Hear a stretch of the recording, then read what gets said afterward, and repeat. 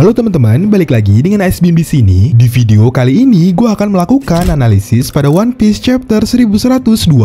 Seperti biasa, gue akan bahas hal-hal detail yang menurut gue menarik dan mungkin kalian terlewat, plus teori-teori yang ada di dalamnya. Nah, beberapa topik utama dari video ini adalah Pertama, terungkapnya rencana pemerintah untuk menciptakan raksasa kuno, bukan raksasa biasa. Kedua, gue akan analisis nama Clave the Clover yang ternyata memiliki hubungan dengan kelemahan Gorosei. Ketiga, gue juga akan menganalisis kira-kira apa tindakan yang akan Iron Giant lakukan untuk mengalahkan Gorosei. Lalu, gue juga menemukan koneksi yang menarik banget antara keluarga Di dan harimau. Oh iya, kalian komen juga ya kalau ada momen atau teori menarik yang gue terlewat. Oke, sebelum mulai, jangan lupa like dan subscribe dulu yuk kalau kalian tertarik dengan info detail dan teori-teori soal One Piece. Yuk kita mulai pembahasannya. Chapter ini dibuka dengan pertemuan antara Clover dan Vega Pang di Pang Hazard 26 tahun yang lalu. Sebelum kita bahas percakapan mereka berdua dan nama asli dari Clover, gua mau kalian perhatiin makhluk yang muncul di belakang mereka, yaitu makhluk bertanduk yang mirip banget dengan raksasa kuno seperti Oars. Hal ini lumayan penting karena nyambung dengan perkataan Lau. Lau mengatakan bahwa pemerintah selama berabad-abad telah melakukan eksperimen untuk menciptakan manusia raksasa. Nah, pada chapter ini terungkap bahwa sepertinya pemerintah bukan hanya ingin menciptakan raksasa biasa, tapi raksasa kuno yang kekuatannya jauh lebih kuat. Oke, lanjut ke percakapan antara Vegapunk dan Clover. Di sini Clover intinya meminta Vegapunk untuk membantunya meneliti abad kekosongan. Sayangnya Vegapunk nolak karena saat itu Vegapunk bekerja untuk pemerintah dan lebih mementingkan kesetiaannya. Beberapa hal yang paling menarik dari percakapan ini adalah pertama akhirnya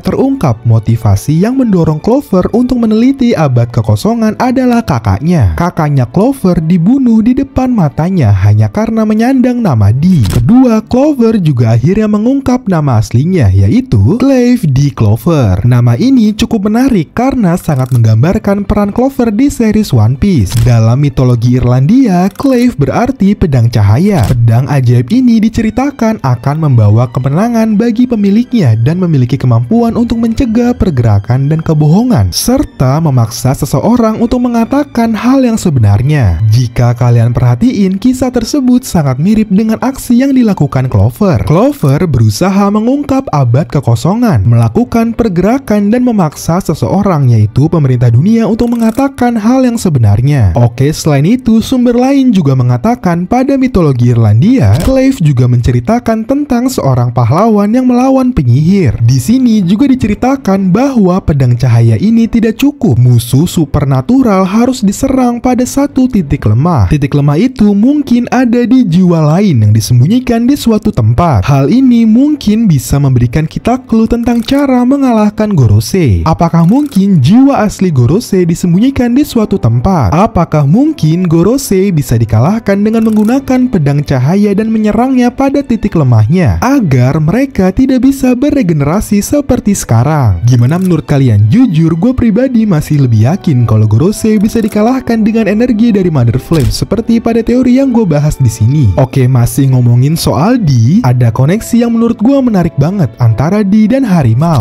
Banyak anggota dari klan Di digambarkan oleh Oda memiliki hubungan dengan harimau. Bahkan Clover sendiri memiliki gambar harimau di jaketnya. Kita semua tahu bahwa Di dijelaskan sebagai musuh para dewa. Orang yang dianggap dewa di One Piece adalah Celestial Dragon. Nah, dalam legenda kuno Asia, ternyata ada kisah yang menceritakan konflik antara harimau dan naga atau dragon. Apakah Oda mengambil referensi ini untuk menggambarkan konflik antara Klandi dan Celestial Dragon? Oke, lanjut ke panel berikutnya di mana kita bisa melihat Vegapunk masih melanjutkan pidatonya. Di sini dia mengatakan hal yang cukup menarik yaitu sejarah ditulis oleh sang pemenang. Hal ini cukup menarik karena Doflamingo juga pernah mengatakannya. Sejarah adalah sesuatu yang dimiliki oleh para pemenang. Suara-suara para pecundang tenggelam menjadi tidak terdengar. Hal ini makin memperkuat bahwa sepertinya Doflamingo diam-diam banyak mengetahui soal rahasia dunia. Dari mulai keberadaan Imu hingga abad kekosongan. Oke lanjut ke panel berikutnya di mana kita bisa melihat beberapa aksi Atlas yang jadi MVP pada chapter ini. Pertama, Atlas dengan sangat jenius membuat Lilith pingsan dengan memukul kepalanya. Hal ini dilakukan agar York menganggap bahwa Lilith sudah mati. Kejadian ini menurut gua membuka kemungkinan lain yang lebih menarik. Jika York bisa menganggap bahwa satelit sudah mati hanya karena pingsan, otomatis ada kemungkinan satelit lain seperti Shaka dan yang lain masih hidup. Lanjut ke aksi Atlas yang kedua, ketika dia rela berhadapan dengan Nasjuro dan meledakkan dirinya agar Sanigo bisa kabur. Dengan kejadian ini, untuk sementara waktu, Lilith akan menjadi bagian dari Straw Hat dan York menganggap bahwa semua satelit sudah mati kecuali dirinya. Nah, tapi sayangnya Nasjuro sepertinya mengetahui bahwa Lilith masih hidup dan udah pasti akan diburu mati-matian. Oke, lanjut ke bagian akhir pada chapter ini, di mana kita bisa melihat Iron Giant atau Emmet dan Luffy saling berkomunikasi dengan Voice of All Things. Hal ini dikarenakan hanya Luffy yang bisa mendengarnya. Hal yang cukup menarik pada bagian ini adalah pernyataan Emmet yang mengatakan ini adalah keadaan darurat. Joy Boy, haruskah aku menggunakannya sekarang? Nah, kira-kira apa yang dimaksud oleh Emmet? Apakah ini berhubungan dengan senjata yang bisa menghancurkan Gorose? Di sini gue coba list tiga kemungkinan. Pertama, seperti teori yang gue bahas sebelumnya, Emmet mungkin akan menggunakan energi yang mirip dengan Mother Flame. Gue percaya energi ini merupakan kelemahan Gorose. Kedua, Emmet akan menggunakan pedang cahaya seperti kisah mitologi Irlandia yang gue jelasin sebelumnya. Ketiga, Iron Giant akan meledakkan